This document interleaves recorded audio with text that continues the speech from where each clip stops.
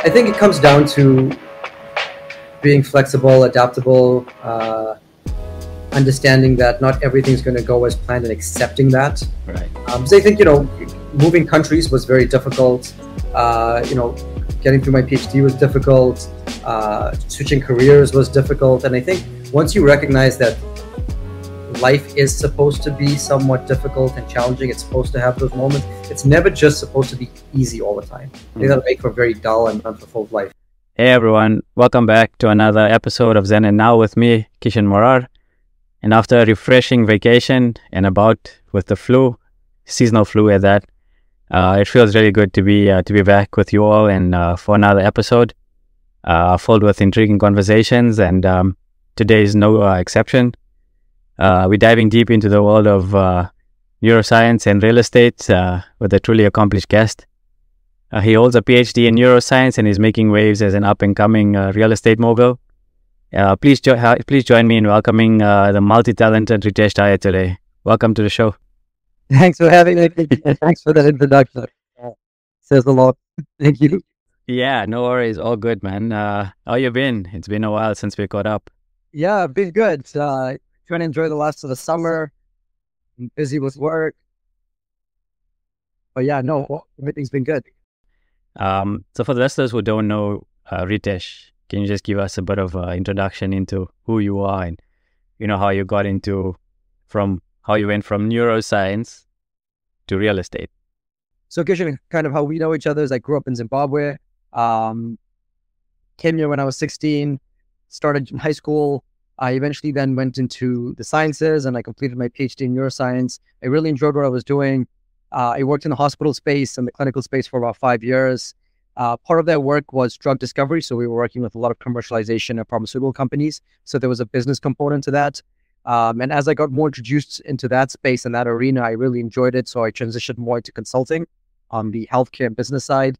Uh, that eventually pushed me more into the business uh, side of things. And um, all through this, as I was in school uh, doing my neuroscience, uh, as I went into uh, the commercialization space. And then when I went more to the business side, I was investing in real estate on the side. Um, and as a student investing in real estate and you're making, you know, say hundred bucks a month return on a property that I was renting out, that was huge to me. And I was like, oh, there has to be something here. Uh, I read a couple books, one of them being Rich Dad Poor Dad, and that talked about, you know, the uh, idea of leveraging real estate. And I thought that was super interesting. So I continued to invest in real estate. Um, and then I eventually got to a point where I was investing in real estate and all my friends and family were asking me about uh, how I'd invested, and I was giving them a ton of advice. And when I was going through my real estate journey investing, uh, I struggled to find really good support and really good guidance. Um, the real estate agents that I was working with, they didn't have a ton of knowledge. They hadn't invested, uh, you know, to the extent that I'd invested. So they were just mainly just managing paperwork. Um, and I got to a point where I decided to quit my job and go into real estate full time. I felt I had a ton to offer when it came to guiding people right. through uh, their investment journey, and then also worth working with people who are buying real estate for the first time. Uh, there's a ton of nuance there. There's a ton of education that needs to happen that doesn't happen. Um, so that's really what drew me to uh, moving into real estate full time. Right. That's an interesting, uh, interesting uh, pathway, you know, from neuroscience and. But yeah, you were doing you you were doing real estate invest. You were investing while you were while you were still working in the health uh, health sector, right? Yeah, yeah. So when I was in uh, my PhD, I, uh, I, received a scholarship. It came with a little bit of money. I had some money saved up, and I eventually thought I was going to live in Toronto. So I decided to buy a condo downtown. Okay. Uh, and I was like, I will live in this in a couple years. So until now, until then, I'll just rent it out. And that was my first taste of investing in real estate. Okay. Yeah, you got the bite. I had the bite. Yeah, exactly. now, amazing that, uh, and like, how did it feel like just to like know that it's yours. Something was was yours. You know, something tangible was yours. It's, it's so young. Um, I didn't think too much of it. Uh, you know, it wasn't. Uh, it wasn't anything that I that uh, felt uh, different for me. I guess maybe just uh, my mindset was different back then. Um, but I'd rented it out. I kind of had tenants in there. I didn't hear from them that much, so kind of forgot it existed until a few years later when I decided that you know I was going to move downtown. Um, and then I didn't end up staying in it at any point, but uh, it just became like a, a, an asset for me. Right, right. And like back then, and compared to now, how do you how do you compare? You know the the living expenses and the prices, you know, of living downtown. Because I'm I'm sure a lot of people like are pretty interested in investing, but also probably like a bit apprehensive right now because of the market and you know the way the uh, the way governance is and the way you know just real real estate market. I know in Toronto is like actually quite quite crazy at the moment. I mean, there's so many high rises coming up. Um, I know there's opportunity for for investment, and uh, mm. I know a lot of people are probably looking into it, but just a bit apprehensive. You know, any advice? You know, yeah, Utah market. Um, the real estate market in Toronto, Ontario, Canada generally is uh, is I'm trying to think of the right word. It's I wouldn't say that it's on fire. I wouldn't say that it's incredibly hot because if you look at a lot of the other G12 countries, uh, their real estate markets are quite similar. Uh, we're seeing, you know, across a lot of countries, uh, especially the developed G12 nations, real estate prices have gone up. Uh, it's just a, it's a it's a component of the economy that we have, the inflation that we were experiencing. Um, so specifically for us here in Toronto, Ontario, uh, prices are high, and they're you know they they shot up when I invested originally. Prices have gone up, and they'll continue to go up more than likely. Um, but this isn't uncommon for big cities. You know, we're still cheaper than some of the big metropolitan cities out there. Uh, this is just what happens when you're part of a big metropolitan city. Prices and real estate prices, in particular, will go up. Uh, yeah.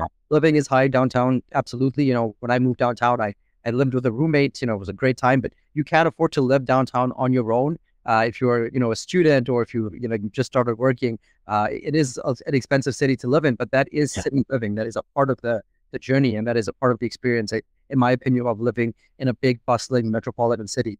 Uh, don't forget, Toronto is, is, is up there when it comes to city. Oh yeah, we're leading in many ways, quality yeah. of life, uh, in terms of our uh, education, our the research, our the innovation that's coming out. Uh, we're one of the leaders in AI. Um, there's a ton going on in, in Toronto that uh, that adds to that uh, flair that makes Toronto a bustling and at the same time expensive city.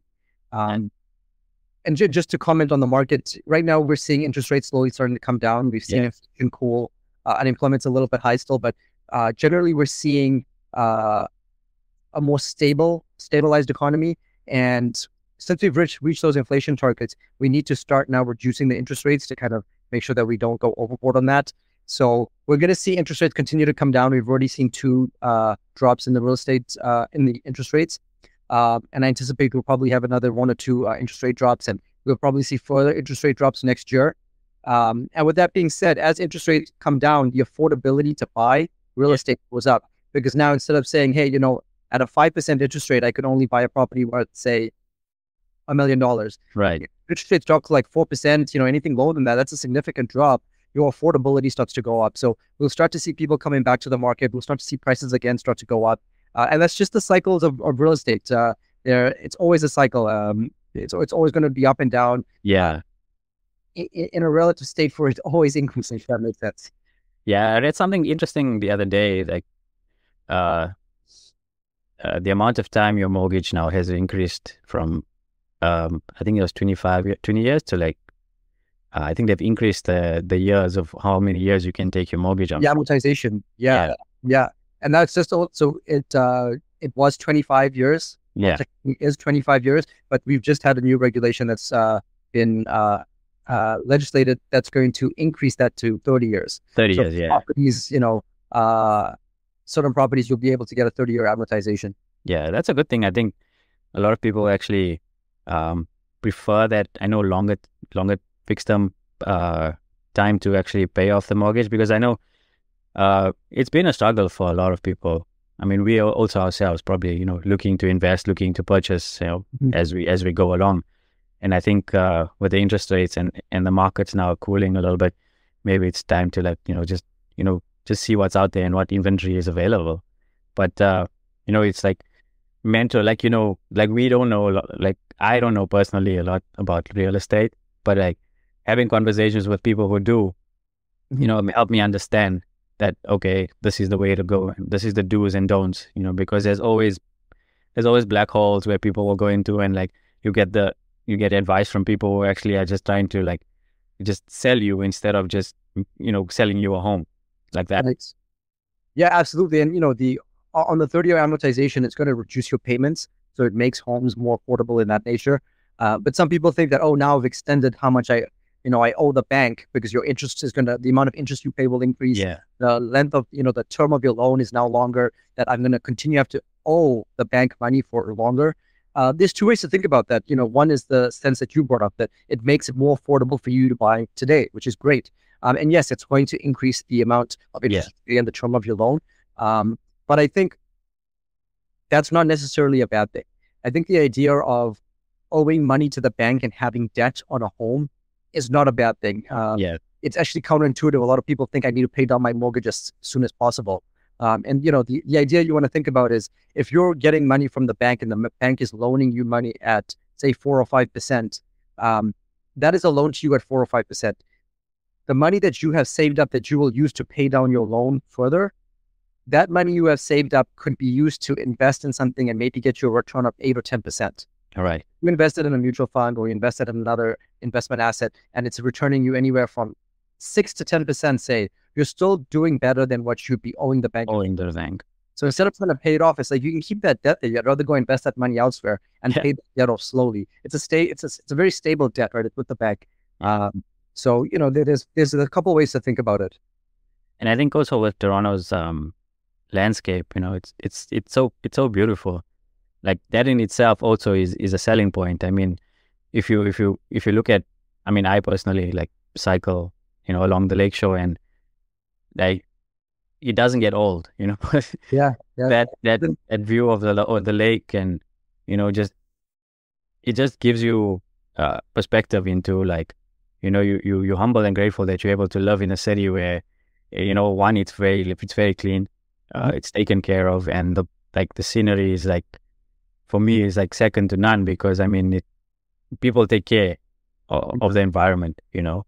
Absolutely. And I mean, coming, we both coming from Africa. I mean, it's also stunning. Like Africa is really stunning. It mm-hmm. can be the most amazing continent to to live on. However, like there's just certain parts where you feel like you know it's just been let down by by people who just don't really care and just abuse the environment and mm-hmm. you know it doesn't make it very very comforting to to live um Absolutely. So I think also that's a good selling point for for like a lot of people. They just want to know that what they're investing in is is worthwhile, not just from any from a, a monetary perspective, but also a lifestyle perspective. And Absolutely. I think like when you give that when you give that comfort, I think a lot of people will be like, okay, you know, let let's see what's out there. And I think watching your journey, watching your your reels and your you know your your ad, your advertising and your your work ethic, I think you know you you give that to people. Uh, you you you sell that that that that lifestyle, and I think people appreciate your honesty because honesty. I mean, if if you're gonna swindle people, they're gonna know. They're gonna see you know straight past the bullshit. Like absolutely. So yeah, no, I, I totally agree. I think Toronto's a fantastic place. You know, we like you said, we both from Africa. We've lived outside of the country. We know what it's like living elsewhere. I think some people take it for granted. Yeah, we have a very safe country, despite some of the stuff you'll read on the news. Uh, we have a ton of opportunity here. We have great education, great healthcare. Um, you know, people complain about our healthcare, and yeah, our healthcare system is very uh, uh, overwhelmed at the moment. But you know, when you go look at the U.S., where they have a private healthcare system, the number one reason for bankruptcy in the U.S. is healthcare. Oh, pharma- pharmaceuticals, man. They keep, yeah, they keep pumping more drugs than just actually fighting uh, the root cause. It's just, you know, that's that's what it is about. Yeah. So, you know, in, in Canada, we, we, we have a lot to be grateful for and a lot to be thankful for. And that's why I live here. That's why I'll continue to live here. That's why I buy real estate here. And, you know, as you said, you know, I, I'm honest because I do, I, I, I recommend and I'm a, I promote what I do. I wouldn't promote something that I haven't done that hasn't worked for me. Yeah, for sure and I'm sure like with your with your your your, your real estate, you know, business and um, how do you like how do you like kind of like balance that lifestyle just to take a break from uh, from from your from the schedule that you have? Yeah, you know, coming from you know a, a, a nine to five job where you know you have consistency in your day, you have consistency in the amount of money you're going to make at the end of the month moving into real estate and being, you know, more on the entrepreneurial side is there's no certainty in what you're going to make at the end of the month. And uh, with real estate, you know, you're busy in the evenings and weekends. That's when people are available to go see properties, uh, to do showings. Uh, you know, you're during the day, you're making phone calls or you're at a site if you're doing any building or renovations or development. So the days are busy, the days are long. Um, and for me, what's been really important is keeping a routine. I'm very much a you know a, a, a person of habit and routine. Uh, so the morning times for me are sacred. You know, I'll wake up early. That's when I'll go to the gym. That's when I'll do stuff for Ritesh because you know at eight o'clock the phone starts ringing and it doesn't stop ringing. Um, you know, eight o'clock in the morning, that first phone call from someone on a construction site saying something's flooded, something's gone wrong, and if you're trying to like do something for yourself, you can't. Your, your mind's going to be on on the fires that you need to put out. Uh, yeah, I mean, routine is important. You know, keeping some time early in the morning for myself. Uh, that's been, I think, a saving grace for me. Yeah, routine is uh is important. I think uh, a lot of us get uh, get so get so like absorbed by you know what we're doing after after we wake up. Um, having that that little routine also just helps you just calm yourself down in the morning. Because some days, I mean, some days are just hectic. I mean, the last, if I just think about the last two weeks for myself, I mean, yeah, you know, you just get you're so exhausted from the day, um, mm-hmm. and not having that morning routine just kind of like, you know, you, you don't feel good.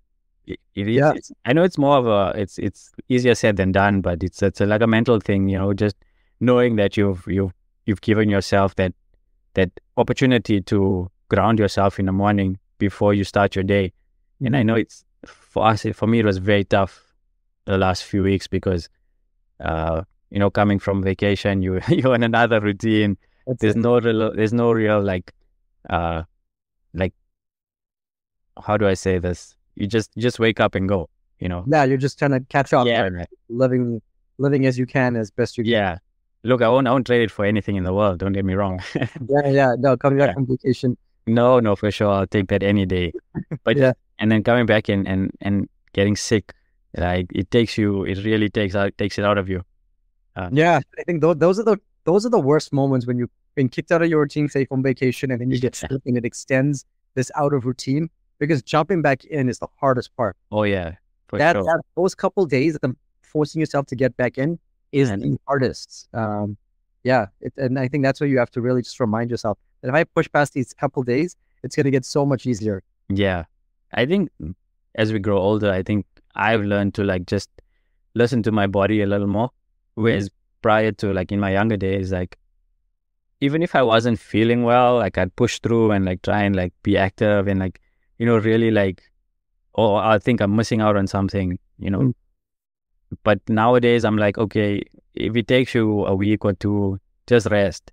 Yes. So you don't really have to go gung ho. You don't really have to like, get a workout in. It's okay because your body's telling you to, you know, take it easy. You need to recover. It's important, absolutely. Yeah. So I think as we as I grow older, like you, I learned to listen to my body a lot more because I've just, I think I've I've destroyed my my body when I was younger because it was just continuous go and no rest, even when injuries occur. Just it was continuously going, and mm. I think now I've now it's more just about maintenance uh, yeah. for longevity, making sure in my in my years to come that I'm just able to still be mobile because you're you, if you're not mobile when you're younger, we see it nowadays with our grandparents and even you know slightly with our parents and stuff, the age and uh, you know all of those uh, ailments and everything come into play. You have to think about those things. Absolutely. I think we're, you know, we're, we're part of a generation that's very lucky. We've been given a lot of the tools and we have a lot of the data and science and knowledge to tell us what we need to do to be healthy and mobile when we're older. Yeah. Um, and it's just, you know, doing that work now so that, you know, we can be healthy and mobile when we're now elder age rather than, you know, being immobile and kind of almost suffer yeah. through your, your, your last few years, right? yeah, I mean, like the work now you do, sometimes it sucks. Like sometimes it's it's hard work. You're like thinking to yourself, why am I doing this to myself? Mm-hmm.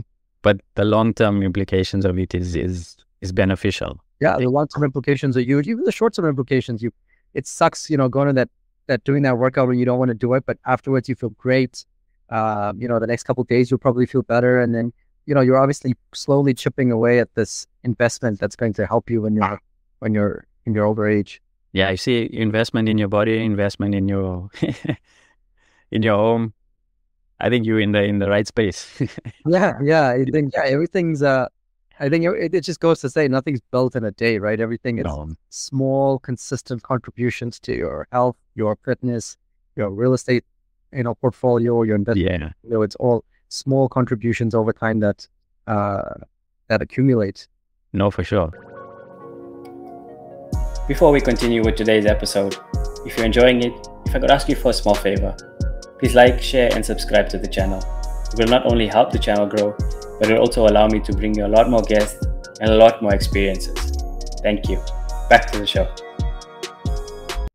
And like confidence wise, like how do you get in, in terms of your mental strength, like when there's an adversity or something that, you know, doesn't go your way or or you feel like, you know, it hasn't gone exactly how you planned in your head. Because sometimes we play that scenario in our minds and this is how we're gonna do it, but then we actually get to the, you know, to the experience, it, it doesn't go our way.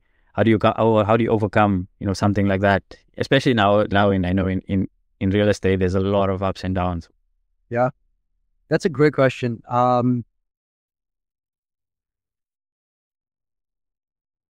I think it comes down to being flexible, adaptable, uh, understanding that not everything's going to go as planned and accepting that. Right. Um, 'cause I think, you know, moving countries was very difficult. Uh, you know, getting through my PhD was difficult.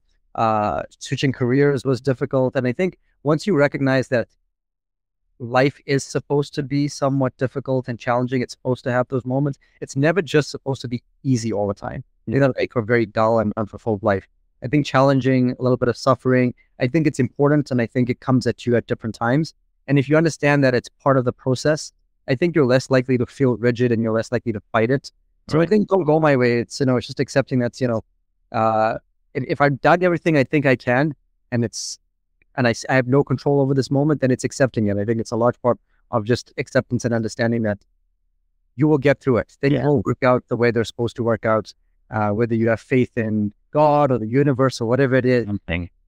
it, it'll work out. Uh, it, it always works out the way it's supposed to work out. Yeah, Sometimes, we're always we're always being told, oh, you, the universe has your back. You know, yeah, yeah, exactly.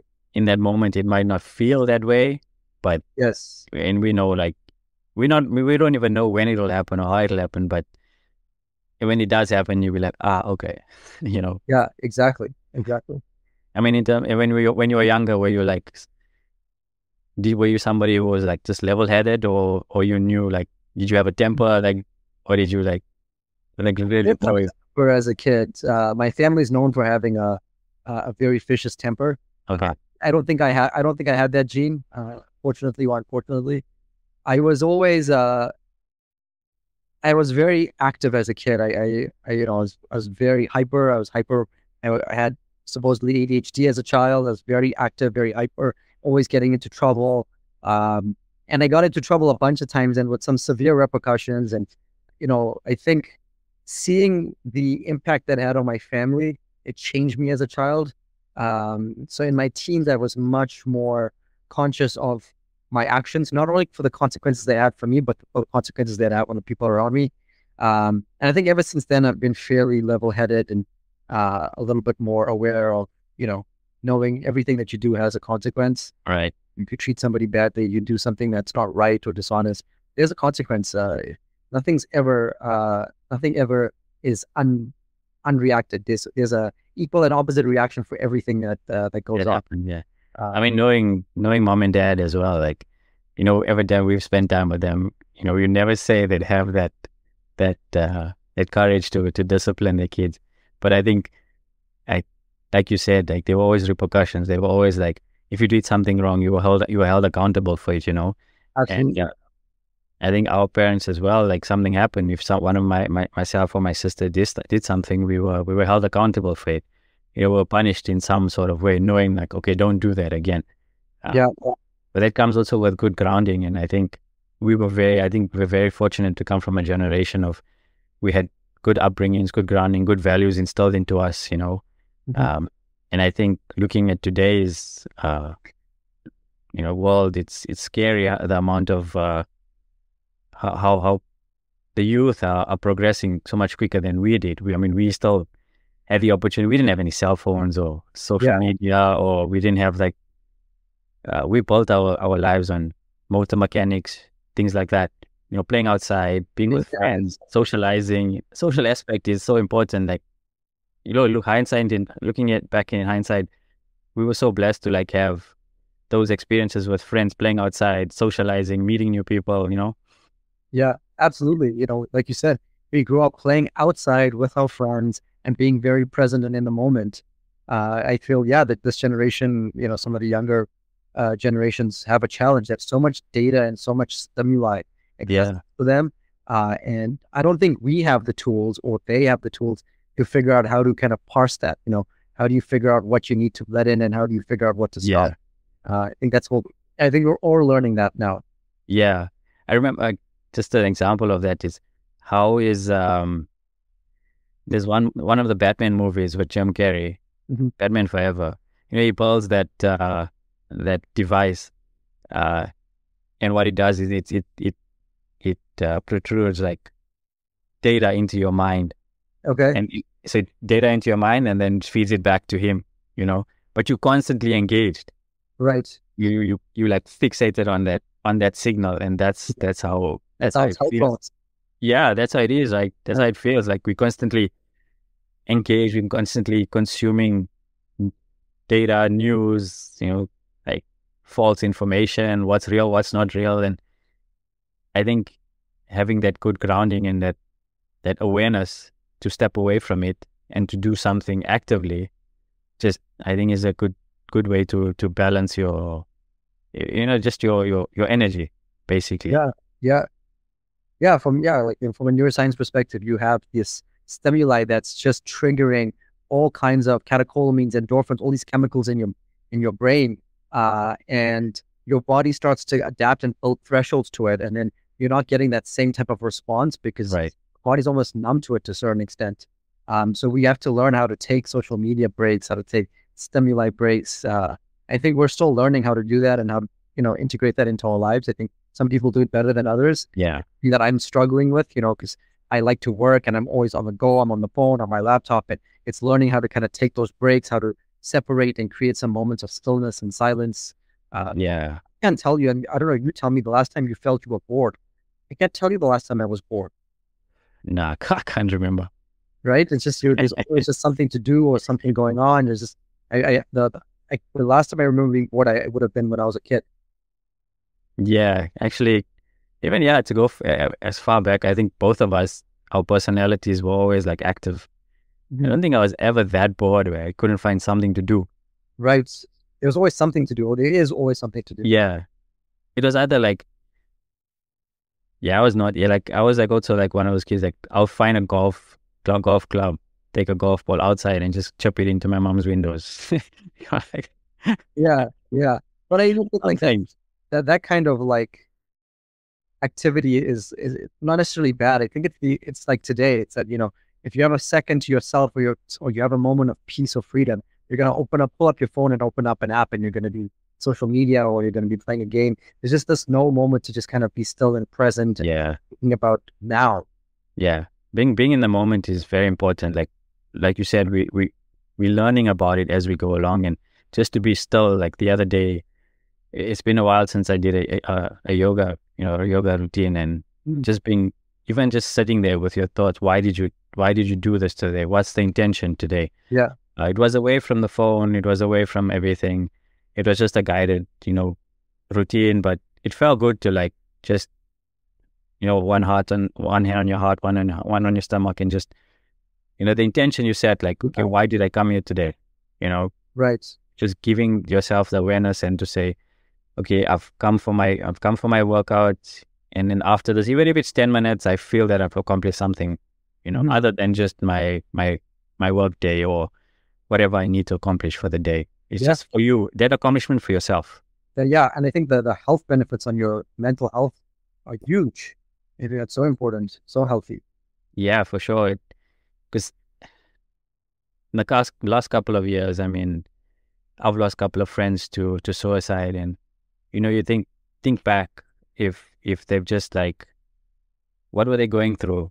You know, what what was actually the you know the root cause of why they actually had to go and do what they did to themselves, and there were times also when I was in that space, and thankfully, like I I was able to catch myself and and also seek help when I needed it Mhm. because I think not being able to do that for yourself uh, is a challenge in itself, but you also need like um, comfort from people who you can reach out to. And I think not having that support is Mhm. also like a challenge. And I think a lot of us we we isolate ourselves when we because I mean we come from a from societies and that way we don't really share much of our of our challenges because we've always been taught like you you have to be a little bit more um uh manly, you gotta be a bit more, you know, uh being able to, you know, just go through your challenges alone and, and fix it yourself. Um, and I don't know how you feel. Maybe something that you know you can share. But I feel like we we didn't have that opportunity to actually express ourselves, you know, on, openly and honestly, without feeling you know we're doing something wrong.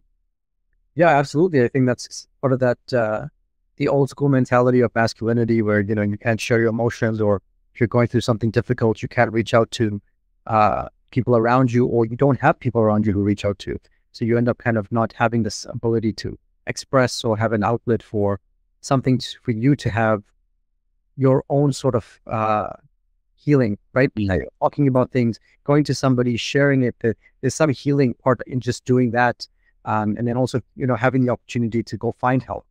Yeah. You know, I think the idea of going to a therapist uh, before was a very uh, and a lot of stigma attached to it. Um, now I think it's a lot more common to say, "Hey, I'm going to go see my therapist." You're like, "Oh, that's great." You know, you're treating, you're looking after your mental health like you look after your physical health. You go to the gym. For your mental health, you're going to go see a therapist. Good for you. Um, that wasn't around, you know, Oh. ten years ago, right? Uh, Oh no, it's definitely something that's newer and maybe even still not even commonplace. Maybe Yeah. more commonplace for us here in Toronto, but uh, in some other countries, it's definitely not. yeah. I think a lot of companies also now introduce mental health days. Um, Yeah. They've also introduced like organizations that can come in, you can go for free. You know, Mhm. you know, it's toll free numbers. Pick up the phone and just talk about what's happening with you. I mean, Yes. I mean that should be the the the status quo. Like it should be free. I think it should be for everybody. Mhm. I think we're still at that stage where it's like a little bit private, you know. Yeah. But uh, like you say, we are making strides in that in that field of of having you know resources available for people who actually need it. And I don't blame the previous generation before us because it was very tough for them also. Because they also went through their own challenges and they also never like really had the opportunity to express it like openly. Maybe maybe like two percent of the world's you know households were like openly you know accepting of people who like your or your your your your close knit family like okay this is how I feel today and let's work through it. Whereas I think majority of of households this is just my experience. I'm not quoting anything. People don't don't take it uh, out of reference, but or context. But I know a lot of my friends from my community just I think they went through life uh, as as a norm, Mm. you know, and it's just an observation. And uh, but now that we get to speak about it openly and we share our experiences, I think a lot of people like like accept it, and they that they themselves also like uh, encourage. Now we're having these conversations openly, and they're like, "Yeah, man, you know, good for you. Like, thank you for sharing. Like, we didn't know. Like, I also went through something, and it's so good to hear that somebody I know has gone through challenges in their life. It's not just me. Right. Yeah, I think you realize that uh, we're all kind of going through some challenge, sometimes similar, sometimes not, but just being aware that you're not the only person going through this. There's some comfort with that. Yeah, yeah. And when you said, you know, you you realize that some of your friends are just going through the norm, what do you what do you mean by that? I think just like living life, like what they should be doing at certain stages of, of Mm. life. You know, Okay. They should be like, oh, at a certain age, you should be X, X Y, and Z. You know, Right. that's what I mean. You know, Got it. or it's like the perception of if I don't if I don't achieve that at X, Y, and Z at the age of X, Y, and Z, have I failed? Mm, right. You know, I also was it like I was in that. Oh, I've got to be like at a certain age, I got to get my degree. I got to get into the workspace. At a certain age, I got to get married and you know, family and you know, because you feel like because you see people, you don't want to be like you don't want to be ostracized from like Right. the group because I felt that way when I was growing up. Like high school was a very challenging time for me in terms of like um confidence wise. Mhm. Um so I think it, it took me a little longer to regain my confidence. But Mhm. once I left high school, I think I found myself again because I think it was a very uh, accepting environment. Friends, you know, that I made, lifelong friends, people who were actually like, you know, there for you if you needed it. Until today, they're still there if you need something. Um, but I feel like nowadays we don't have to live in that norm or that cycle of cert- accomplishing things at a certain age. You know, age is just a number. You can do it anytime. Absolutely. Yeah, I think you're you're absolutely right. Those societal and cultural uh, pressures that are put on us to hit sort of milestone by certain Yeah.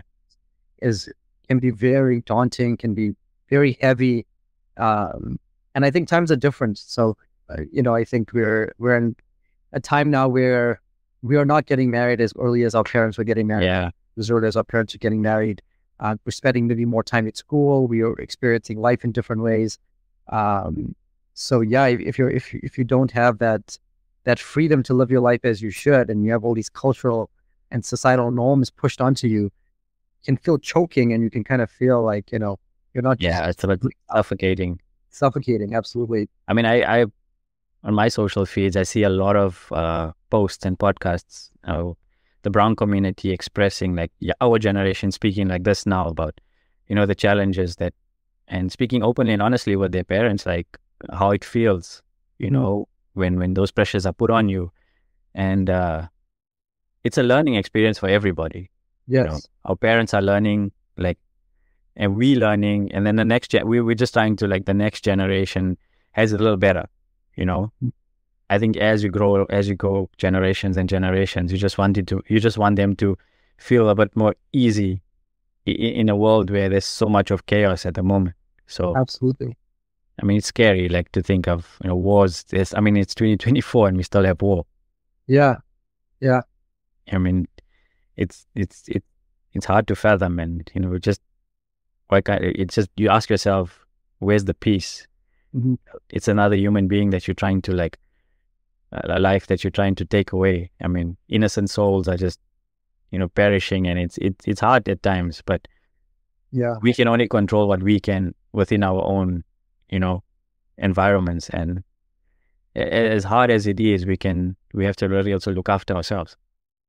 Yeah, absolutely. I think, you know, you have to make sure you're healthy and happy and sane before you can help and provide, contribute to anybody else, right? Yeah.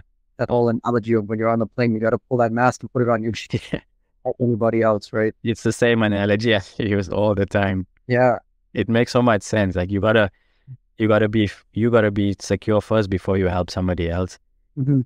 And I think a lot of our, a lot of our societies, we don't, we try and give so much of ourselves, but we're not ourselves help. We're not helping ourselves. Like we give so much of, uh, we give pieces of ourselves away so much that there's nothing left for us. Mhm. And that's when burnout happens and exhaustion, and then you don't feel like you can accomplish or, or you know, do what you want to do Mhm. and I feel like a lot of people like are going through it right now, like literally. Yes. So, but I always tell them like, you know, the the the hard the road is is is tough. It's long. It sucks. It's up and down. It's gonna get nasty. It's gonna get very emotional. But once you get to the other side, man, it's such a good feeling. Yes, absolutely. Yeah, I And- think especially with with social media and you know, you were saying earlier us about us being isolated. We are still very isolated despite the fact that we're so connected with all the com- different types of telecommunication we have. Can FaceTime, phone, text somebody in a, in a second and you're communicating with them, but it's it's a very different sense of communication Yeah, so it's different from being uh, in community, right? Um, I think we're losing a ton of that sense of community. Um, so you can feel very lonely and isolated very quickly. I think yeah, like you make an important point there. Uh, we're so connected, but yet we're so lonely. hmm You know, that's how that's how because your friend is your. I mean, nowadays your phone is your best friend. Yeah, connects you to the world. It keeps you it keeps you engaged. It keeps you busy. Whereas, whereas, not, you know, you, you have to like find that that awareness just to put it down. yeah, absolutely. You know, I remember, uh, you know, I I saw a meme on social media and I thought it was funny because it was it was true. You know, when we were kids, the best thing we could do was just hang out with our friends and do nothing. or hang out and listen to a, a CD or a cassette, Something. um, or hang out and like watch a movie. Like, you know, that was something we go to someone's house and you could just sit there and chat and watch a movie for hours Hours. something for hours. We don't do that now. You know, we're listening to anything. It's like, you know, on our own and we're listening to the first 30 seconds of it and it's next on to the next thing. I mean, you you probably see it around Toronto a lot. Like everyone's with their headphones. Even if you go into a coffee shop, there's no one having conversations. With their laptops. Everyone is just in their own zone. You know, there's no one having conversations. And like I found one day, I just walked. I I told someone this the other day, and like I just walked into a coffee shop, and I'm just like looking around, and I'm like, nobody's talking to anybody. Everybody's just plugged in and wired in, and it's like, Oof, okay. Yeah. Just a small observation, and I'm like, yo, we lo- we're losing uh, the ability to converse. Also, you know, I'm Yeah. not saying you must, you have to be like so friendly and just go and talk to anybody, but just you know, just a general conversation because getting things off your chest is is is so important. Like keeping it in, it's hard. Like you you you you you, you hold on to so much of, of weight, when that weight it's too much. So, Absolutely. Yeah, no, it's it's super important to be able to just talk to somebody about your day, as simple as that. Uh, and you know, not everybody has that person to talk to about their day. Um, even if you do, you're working and you're talking the whole day to this in these meetings to this computer. yeah, You come home and you got all these things to do, and like there's very little opportunity to just kind of sit and talk and be present. And uh, yeah, I think you it's it's something that you have to kind of really be conscious about putting into your life. Otherwise, it's just so easy in today's world to not be able to do that. yeah. And you don't have to have a ton of friends. I mean, your circle can be so your your circle can be like very small, but you know it, and it it's then that's okay because you don't have to have ton of friends to feel like you have community. You can even have a best friend, like one friend, and feel like you you know you're okay. Yeah, yeah. No, it's again, it's it's uh, quality over quantity. You'd rather have one or two really good people that are good friends that respect you and you have loyalty with, than to have like thirty friends who you barely get to see, who you barely have a relationship with. Uh, yeah, definitely quality over quantity. And you know, just on the community thing, I, I think it's super important. It's been something I've been thinking about a lot. You know, especially when you look back at you know our generation when we grew up as kids and the generation before us, especially we were raised in communities. We weren't just Yeah. raised by our parents. We were Hundred raised by grandparents, our aunts and uncles, our cousins. Like, you know, my dad talks about growing up and, you know, he grew up with his cousins and, you know, his friends and community.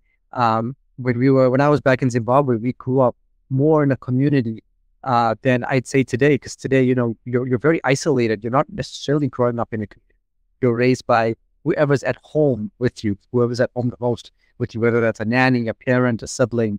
Um, we're we're losing the sense of community in the way that we're raising children, and then we're also losing the sense of community for us because we feel we're always talking to people. We feel like we have this false sense of community, but it's not. It's not the same. Yeah, it's so important that note. I mean, I was raised, I think, by my next door neighbor. You know, Yeah. um, I grew up like in their in their arms, and I never spent time at home. Like I was always with my other my aunt or next door neighbor or somebody was like, taking care. But I grew up with a, with, with different a different community, you know. Yeah, but like you said, it perspectives and influences. yeah. I mean, just the other day, like we had some family over from South Africa. Um, and it's such a small world. We just met up for a little braai and barbecue and stuff. And the, the, the uncle we met was like, he actually knows my dad. Like he moved here in the 70s, Wow. but he, he was actually like his best friend was literally and was my uncle actually. Wow. Okay. you like think to yourself, these guys were literally next door, you know, and now all way all around, uh, all across the world. Right. So you you find these these people that were actually like connected to you somehow. Yeah. But that's that comes from community, like you said. We were even our sports coaches became our mentors. You know, Absolutely. um, teachers, everyone like just, and we still hold them dear to our hearts today. Like I still today will call my teachers madam or sir. I can't say their first name. Right. Yeah. We grew up with a different sense of, I guess, uh, scholar and discipline. Yeah, yeah. Another topic. Uh, tell our friends how we used to get beaten, how Oh my god, we used to do you stand there the day and you're like, you get, you get, on the hand. Yeah. yeah, yeah. You know, yeah, it was. uh You know, I look back at it with very fond memories, though. So maybe uh, yeah. we're fortunate for that. It gave us gave us values as well. It gave us uh, respect as well. Mhm. It made us learn respect for for for not just your your elders, but for everybody around you. Yes, yes, And I think one one thing that I, I actually take away from that is like we grew up. I grew up playing cricket a lot and always away from home. So living or playing like elsewhere, and you know they will always teach you whenever you come across uh, anybody elder or anybody, you just take your head off and you say hi, hello. yes, You know that's just a, a sign of respect. Even if even the chefs that cook your food, like you go into the kitchen and you say, you know, thank you for the meal, um, because they also working hard to provide you with a with with sustenance. Um, so it it's it's good to say, you know, please and thank you. There's nothing it costs you nothing. yeah, absolutely, and it gives you the sense of gratefulness, and you know, I think encourages this respect. It's yeah, you know, I think we were fortunate to have been raised, you know, under those pretenses. Yeah, I don't think a lot of people these days have, uh, have that opportunity to have that type of discipline, respect, kind of yeah. into them, built into them. No, hundred percent agree. And like, it, it it makes you also thankful for the for the grounding that we we received. Mhm. It allows us to now also navigate challenges so much, you know, with with more confidence. Yes, We don't we don't we don't struggle with like trying to figure out, you know, or find a resolution. You know, sometimes yeah, it gets a bit annoying when we can't find it, but we know we're resilient enough. yes, We've exactly. we've yeah we've we've been built up with like with a bit of strength. yes, yes, So, and I think hopefully uh, the next generation can learn, you know, we just, that's all we're trying to do. I think nowadays we're just trying to impart our knowledge and give them the best, best, best opportunity to, you know, navigate life because it's not easy. Life, life is never easy. yeah. I think it's harder now than it was in the past. yeah, for sure. Comforts and technology we have. Yeah, we're so connected and wired in. It's, it's, it's, it's, it's scary, but also it, it has its, its perks as well, the pros and cons to everything. Yes, I mean, we're so connected now. We can just call home at any time. Whereas before, you had to like wait for the time, buy a world call card, or send a letter. yeah, yeah, exactly. Yeah, you have to buy those little cards, Yeah, long distance on it. yeah, Yeah, but it's nice. And in terms of like travel, I know travel is like a big part of your of your life. yeah. Love to travel. I think it's important. Get new perspectives. Get a new appreciation for what you have, what you don't have. Uh, opens your mind and your uh, your thoughts, your way of thinking in so many different ways. It's also a good way to break your routine and monotony that you might be building up over time. Um, so yeah, definitely a big proponent of traveling. Uh, I went to Thailand in the summer, um, and uh, this year I'm going to go to Argentina and Brazil. Oh man, that's amazing. Want to go see the Amazon before the Amazon doesn't exist anymore. Don't get eaten by an anaconda, please. Uh, those anacondas got to watch out for me. Yeah, no, I'm, I'm more worried about the spiders and smaller, smaller things you can see. yes. Anaconda you see coming. Uh, yeah, no, travel's important. How did you enjoy your Germany trip? Man, it is. I, I can't. I can't explain to you the feeling. Um, we went to the Berlin Wall, and you know, you just you get that that sense of history. Mm, Uh, even while you're on the hop on hop off, you know, they explain to you like east and west how it was divided, and you know, it actually happened there. You know, it was it's part of history. You feel that that energy. You know, it's still there. The energy is still there. It, Mm. I don't think it ever leaves. Wow. Um, but Germans and I mean Austrians are, are extremely welcoming people. I think we a lot of people see them as this you know this harsh, um, very very straightforward you know persona, but they're very welcoming, very accommodating, and um, it was just just an awesome trip. And having to the actual reason we went to Austria was actually to watch Coldplay. Okay, nice. Yeah. Because we we actually got tickets for Coldplay first, and then we booked. that- that that's some, after. those are some hardcore Coldplay fans. yeah, I mean, it's once in a, I, it's the best concert or one of the best concerts we've ever been to in terms of like just energy, entertainment, music, vibe, people also like even though we were like like probably like a very minimal amount of brown people within a you know in that environment, but you never felt out of place. Wow. Okay. It make you feel so welcome and and it, it, you, that's how safe it was, you know. Because prior to that, it was Taylor Swift's concert, and that got cancelled because there was a, a security threat. Oh wow. Okay. The week before, it was supposed to be in the same stadium, actually. Um, but there was no sense of like urgency. You didn't feel unsafe. What was the security threat that?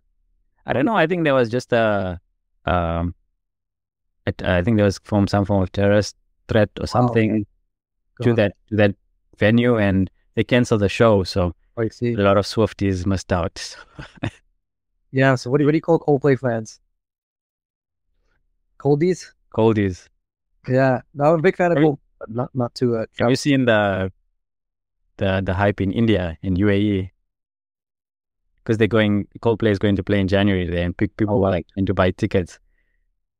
Like bots, I think bots bought and bought them out really quickly, and they're like selling them at like twenty times the price now. of course, of course. But no, it's uh, even just Austria's Austria for me. I've always I've been there before. It's been a, a top five venue uh, destination for me. Okay. because I've been to the countryside as well. And Nice. for me, that was that was breathtaking, Lucia. I mean, that was breathtaking. I don't, I don't. If you ever get a chance to go to Vienna, I mean to Austria, try and go into the countryside. Yeah. Like that for me is like Austria. Vienna is beautiful as well. Don't get me wrong. Mm. Culture, it's got um, excitement. It's got food. It's got people. You know, but just then when you see that mountain, you see that you see those little houses in the, you know, like a prairie, and then it's just stunning. If you ever go, I would recommend Austria to anybody. Anybody. Got it. Wow. Okay.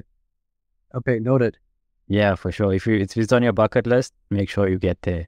Even Berlin, Berlin is very uh very historic, architecturally very very beautiful, stunning.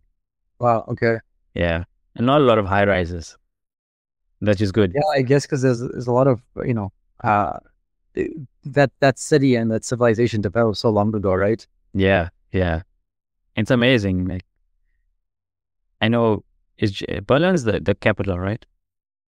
Of Germany, Yeah, I believe so. Or you're uh, you're test. You're putting us on the spot now. yeah. I'm trying to think. Maybe that's why probably no high rises because of being a, a capital like Washington. Or Washington, there aren't that many high rises. Because I think a lot of those buildings were built so long ago, right? They were Yeah. going beyond like you know three or four stories, Yeah, and you know you're not going to be tearing down those buildings, right? It's no, no, no. absolutely significant. But no, I, I believe also you you traveled to Guatemala, right? Yeah, that was uh last year, the year before. We uh went there to go. We went to go hike one volcano so we could see another volcano. Uh, and it was probably you know one of the most impressive things I've ever seen in my life. It's like sketched in my mind forever. Um, was you know hiking. This hike was very difficult to begin with. Was uh, a challenge, but once we got up there, the view of seeing an active volcano, uh, you know, seeing this lava come out, seeing it smoke, smelling it, hearing it, feeling the you know the heat. It was uh, it was truly spectacular. Definitely something uh, that I'll never forget. Amazing. Yeah, hiking is something we've just gotten into now recently. Hmm. Um, if we ever do get a chance, we'll try. But I mean, like for sure. And altitude wise, it probably was like a challenge, right? Yeah, so we were in a group of ten, and half the group got altitude sickness. Uh, so we took some like some pills ahead of time to help with it, uh, but still half the group, you know, had altitude sickness. Uh, just because you're going from you you you you're hiking up on a, the most direct route up there, so that you can get above the clouds to see the volcano. So it's a very steep climb. Um, and a, we did it in a you do you climb it in like a day. You get to the top within the day. Um, so yeah, you're, you're hitting uh, pretty extreme altitudes, and uh, there's no way to to avoid that. Do you recommend like training before it, like doing some form of like training, or just be like aware that I think you are- have to. Yeah, I think you're gonna have to just be aware that you're you're gonna have to deal with some sort of altitude sickness. If you're some people will more than others, uh, but what you can train for is the hike up there. Uh, because the air gets thin the higher up you go. So your lungs and your body has to work a lot harder uh, to bring in oxygen. So definitely being healthier, being in better shape. Uh, I definitely struggled, uh, and I, you know, uh, I, I was, I was kind of kicking myself and saying, you know, I should have prepared and trained a little harder for this hike. I mean, you're pretty fit as well. I mean, you're pretty in shape. So, uh, yeah, I think it was still tougher, man. It was, I, I think, uh, it, it, it's definitely something that I, I took for granted. I didn't prepare for as much as I should have. Noted, noted, guys. Remember, just uh, prepare. if you're ever going to hike altitude mountains, make sure we we do our our training in before. Because I was watching the other day, um, Everest, um, you know, and and uh, high altitude climbers what they what they need to go through. Because I think in uh, in Nepal they don't just allow anybody to to climb. You know, you Sure. have a certain amount of you have to be a certain level to climb. Yeah, it's it's dangerous. It's not something you can take lightly. But that's the beauty of like planet Earth. You're even just looking at our planet on the plane, and it's y- you know you, you feel like really insignificant because it's massive. Like we feel like so small, you know. Yeah.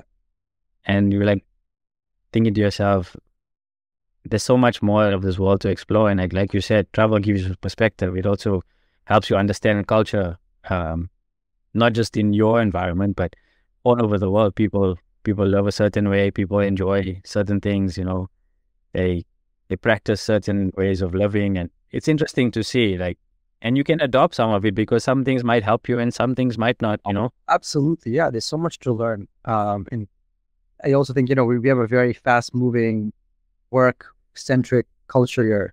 So when you travel, you you're reminded that you know this isn't the only way to live life. yeah i think coming from south africa we had to we had to really slow down Mhm. because like canadian culture is not as fast paced as as south african culture Yeah. and a friend of mine asked me about uh, work life balance Mm, uh, and he said like if we could just talk about that more like you know i would i should share a lot more of what i feel is is work life balance and for me it's like i think work life balance is individual Mhm. uh, but also your environment plays a, a, a huge part of that Absolutely, yeah. so what i would say to him is that i kind of like if your environment is fast paced you know you you also got to try and for yourself make it as slow as possible I mm-hmm. know at times it's not easy, but you have to also like make that jump or take that step to to slow to slow your your, your pace down. Because I mean, you age like ten years, like before you know it, if you don't if you don't take care of yourself. Absolutely, it's critical. Yeah.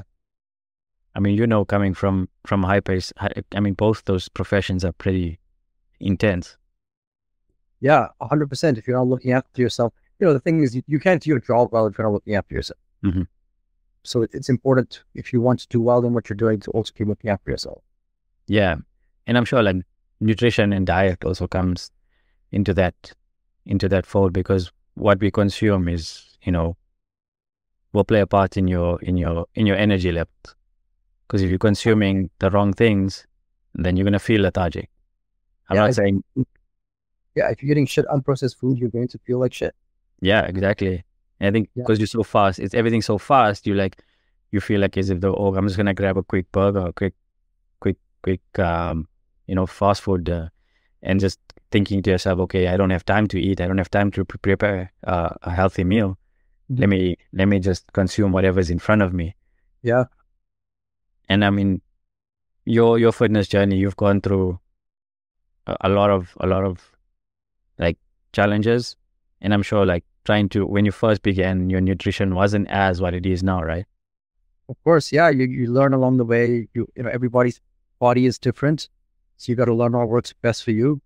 Uh, um, and yeah, so it's over years of just figuring out what works best. And you know, I feel the science and the the the, the knowledge we have on diets has also changed considerably over the last couple decades. You know, at one point it was, uh, you know, veganism, then it was vegetarian, or thing carnivore diet, and I think there's all these different diets out there, paleo diets. I think you got to figure out what works best for you Yeah, yeah. No one can really tell you how to do that. You have to figure Yeah. it out. trial and error as well. I know a good friend of mine as well. Like she was in my first episode of uh, on my podcast, and she shares like her journey with with with chocolate. Like she loves chocolate. Yeah, but she's aware that also consuming too much of it is also not Mhm. good.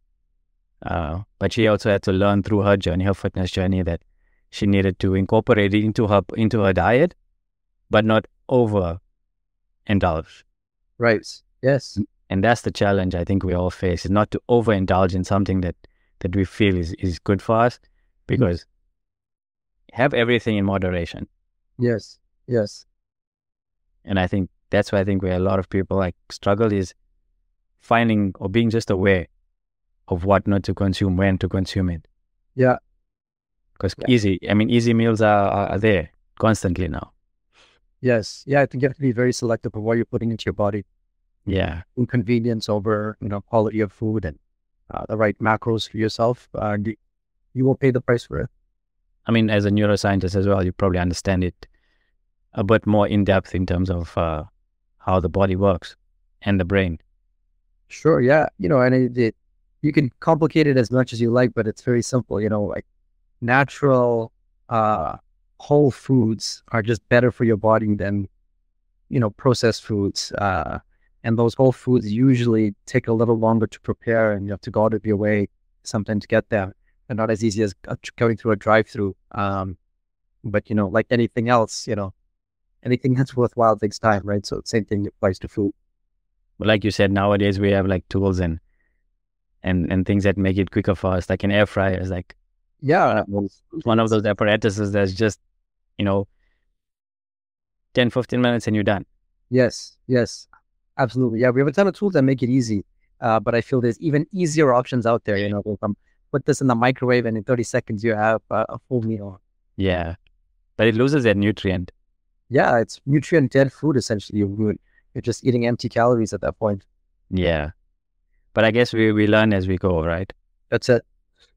Mindfulness over awareness. Yes. But no, uh, what's next for you? What's the next, uh, what's next for Ritesh? Um, great question. Uh, I don't really know. I think uh, continuing to help as many people as I can, uh, invest in the right things when it comes to real estate, educating as many people as I can on uh, what makes the right, uh, what are the right fundamentals for buying your, you know, your own personal residence, for buying an investment property. Uh, that's the goal now is just to continue to educate people. Um, and then for myself is to continue on my fitness journey. I have my fitness goals that I'm still working towards um, continuing to travel, continuing to be there for my friends and family. Uh, those are the things that are important to me. Those are the goals that I'm working on. No, amazing. Thank you for sharing. Uh, thank you for sharing your journey with us today. And uh, yes, guys, if you're looking to uh, to purchase a home or Mhm. or invest, reach out to Ritesh. I'll leave his his uh, his details in the description. Uh, awesome guy. You know, he'll have your back. Yeah, I appreciate it. Thank you for having me. It's uh, great to have this conversation. I really enjoyed it. No, I appreciate that, man. But uh, thank you guys so much, and, and until the next episode, See ya. Bye.